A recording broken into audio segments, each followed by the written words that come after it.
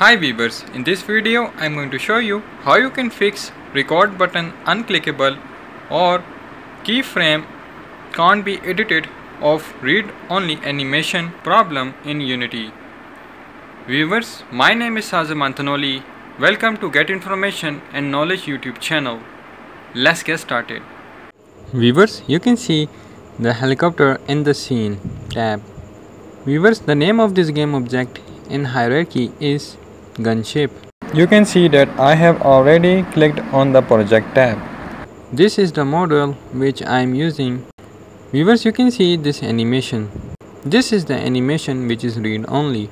If I click on the game object which is gunship in the hierarchy and then click on the animation tab you can see that record button icon is unclickable which is used for enabling and disabling keyframe recording mode which means that I cannot edit this animation because it is read only.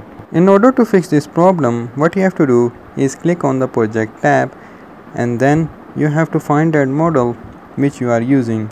I am using this model so I will click on the animation and then I will press down the CTRL plus D key. As I have pressed down, you can see that the animation has been duplicated. After that, you have to click on the game object and then in the animation component, you have to simply assign duplicated animation to it. Viewers, if you are using the animator component, then what you have to do is click on the animator tab and then in the animator controller window you can see this animation. This is this one animation. So what you have to do is delete this animation by right clicking and then clicking on the delete.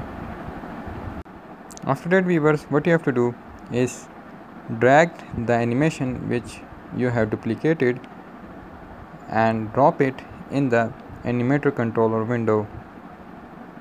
Viewers after that again click on the game object in the hierarchy, click on the animation tab and then click on the recording button icon. You can see now I can edit the keyframes of animation which was before read only and was not editable.